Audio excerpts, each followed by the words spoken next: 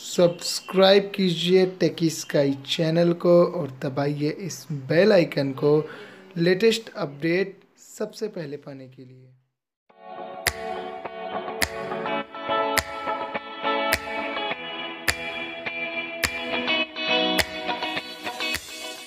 तो स्वागत है आपका हमारे चैनल टेकी स्काई पे।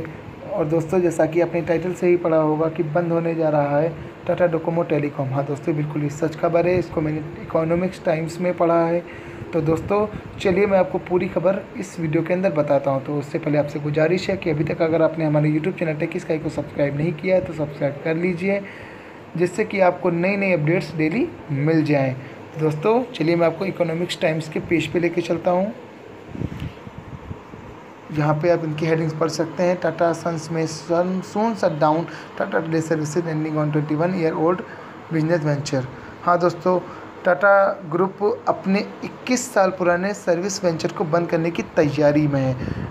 तो दोस्तों, मुझे जो पढ़ा मैंने, उसकी हिंदी में आपको मैं बताता हूँ, क्योंकि यहाँ तो सब इंग्लिश में मैं आपको हिंदी करके बताता हूँ कि टाटा ग्रुप के जो chief financial officer Saurabh Agarwal और टाटा टेली सर्विसेज़ के मैनेजिंग डायरेक्टर श्री एन्ना दोनों ने डिपार्टमेंट ऑफ़ टेली के अधिकारियों से मुलाकात की और अपने मौजूदा स्पेक्ट्रम और सरेंडर या बेचने के रास्ते पर चर्चा की है। हालाँकि कंपनी ने इस, फ़िलहाल इस मुद्दे पर टिप्पणी नहीं की है मतलब कुछ भी नहीं बताया है, लेकिन रिपोर्ट्स के मुताबिक सेल्स मार्केटिंग टीम से 500 से 600 कर्मचारियों को हटाया गया है। और दोस्तों, टाटा ग्रुप के इतिहास में ऐसा पहली बार हो रहा है। टाटा ग्रुप के एक साल के इतिहास में बंद होने वाली यह पहली बड़ी यूनिट होगी। टाटा टेली सर्विस की स्थापना उन्नीस सौ छियानवे में लैंडलाइन ऑपरेशन के साथ की गई थी।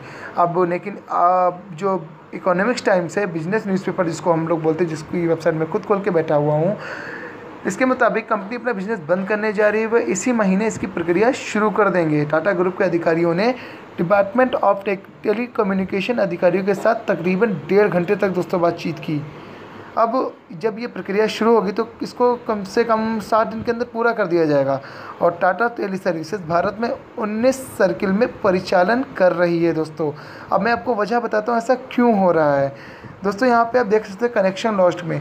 सब्सक्राइबर इनके जो देख सकते हैं, जनवरी में 51.9 थे, जो कि जुलाई में घट कर 42.9 रह गए, क्योंकि इनके सब्सक्राइबर की संख्या दिन ब दिन गिरती जा रही है। अब तो मैं तो यही मानूँगा, शायद ऐसा जियो की वजह से हुआ है, क्योंकि जियो के सब्सक्राइबर जिस तरीके से बढ़े, वैसे इनका सब, इनके जो सब्सक्राइबर से गिरते चले गए।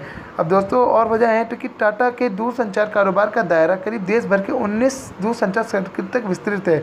हालाँकि उसके ग्राहकों की संख्या लगातार घट रही है। भारतीय दूरसंचारक नियामक प्राधिकरण के ताज़ा आंकड़ों के अनुसार जुलाई 2017 तक उसके वायरलेस उपयोगकर्ताओं की संख्या घटकर 4.2 करोड़ रह गई, जो जून में 4.37 करोड़ थी।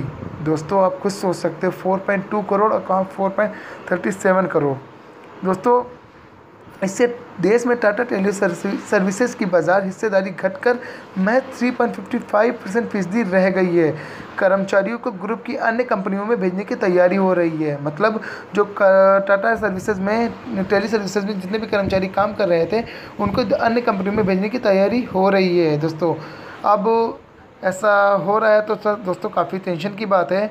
अब मैं आपको पूरी इनकी हिस्ट्री बताता हूँ। टाटा, जो टाटा टेलीकॉम सर्विस है, इनकी जो बाज़ार में लिस्टेड कंपनी नहीं है मतलब ये शेयर बाज़ार में लिस्टेड कंपनी नहीं है, जबकि उसकी एक सहायक इकाई tele Tata teleservices Maharashtra सूचीबद्ध कंपनी है।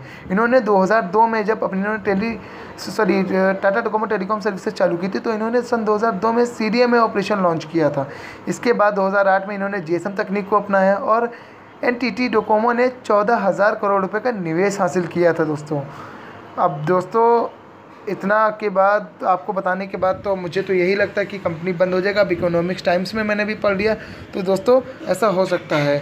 तो दोस्तों, मेरा तो आपसे बस यही सजेशन रहेगा कि अगर आपका नंबर डोकोमो में है तो उसको पोर्ट करा लें। अभी किसी को पता नहीं है कि डोकोमो को कोई ख़रीदेगा कि नहीं, क्योंकि इनकी पहले भी एयरटेल से बात हो रही थी कि लेकिन बाद में कुछ हुआ ही नहीं। तो दोस्तों इन्होंने फिर भी कुछ नहीं किया, फिर घुमा फिरा कर बात वहीं पे आ गई।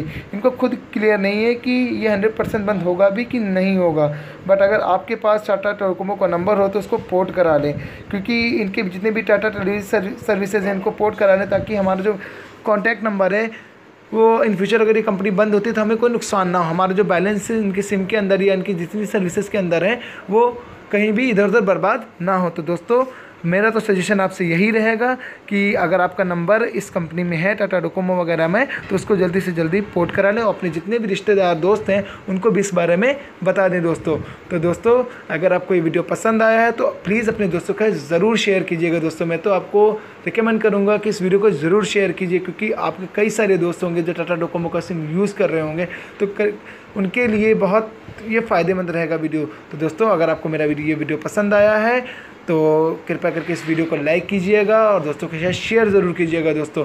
और अगर हमारे चैनल टेकिस का एक की सारी वीडियोस आपको अच्छी लगती हैं तो प्लीज़ मेरे चैनल को सब्सक्राइब कीजिएगा और आगे शेयर करने का भी कष्ट कीजिएगा दोस्तों। मैं इसको कष्ट ही बोलूँगा क्योंकि आप लोग सब्सक्राइब नहीं करते हो दोस्तों। प्लीज़ मेरे चैनल को सब्सक्राइब कीजिएगा। तो फ़िलहाल के लिए इस वीडियो में इतना ही।